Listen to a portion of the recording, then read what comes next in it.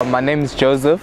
I'm from South Africa. I'm studying foundation in science and engineering for mechanical engineering, the progression to University of Liverpool. I've been abroad before, but then I've never really been to Europe.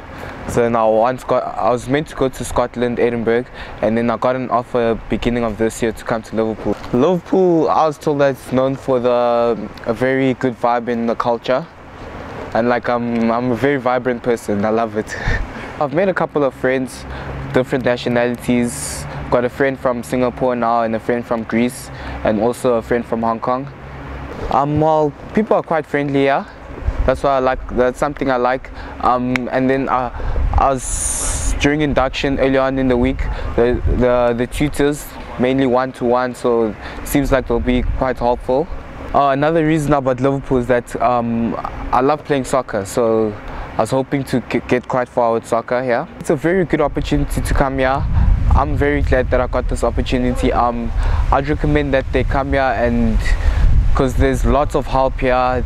They can it's it's it's well it's well ranked within the world. Um, in South Africa, we've got 11 different national languages. I can only speak about four of them. well, English is a well is, is a worldwide language. That's one of them. Then um, Zulu, Sotho and Tswana are the other three languages that I can speak. Manje abantu ba South Africa ngilapha eLiverpool um ngiyostudisha mechanical engineering uh, nangiqeda foundation uh, course. Uboza lapha and then uzobheka ukuthi kunjani. Kuyajabukela ya ngiyakhuleka and ngayenza noma yini. Yiko kuphela